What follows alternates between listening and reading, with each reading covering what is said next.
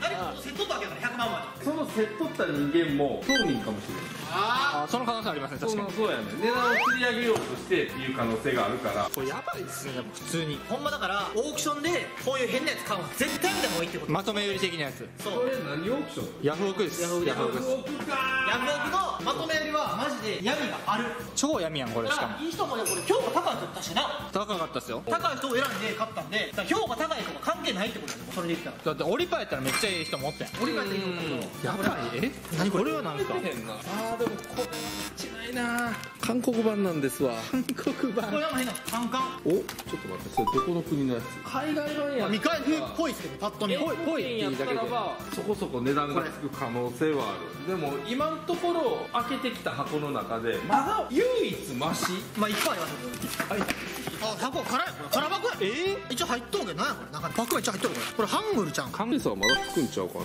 いやこっちは見ますけど、もうだってこれあと2箱ぐらいですもんね。ほぼラストや。これめちゃめちゃあるけどこれ何よ。